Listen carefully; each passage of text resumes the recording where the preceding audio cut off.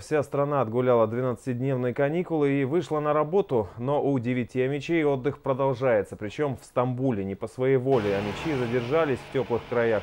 Сотрудники авиакомпании «Пегасус» продали на рейс из Стамбула в Омск больше билетов, чем может вместить самолет. Лишних пассажиров разместили в гостинице. Отправить на родину обещают только в среду. К сожалению, у них еще только утро. У них офис суббота-воскресенье выходной был.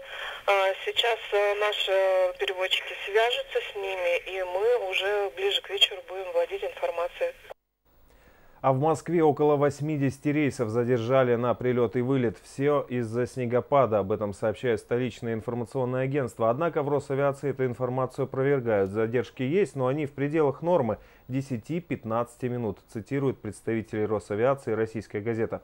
В Омск самолеты из столичных аэропортов прибывают по графику.